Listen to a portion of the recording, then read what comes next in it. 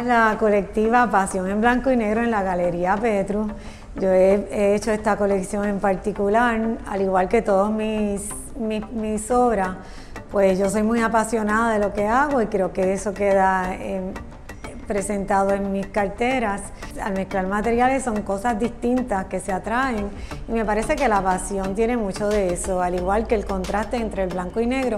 Son cosas opuestas y, pero cuando se mezclan forman algo bien bonito. Yo espero que, ¿verdad? que a todos les agrade y que vean el detalle y la pasión con la que se hace cada cartera. Todo tiene muchísimos detalles, tanto por dentro como por fuera. Yo busco los materiales minuciosamente, se mezclan, se trabajan a mano, por dentro tienen mucho trabajo a mano. Y cada obra es única en su clase, no se repite, se hace una de cada una.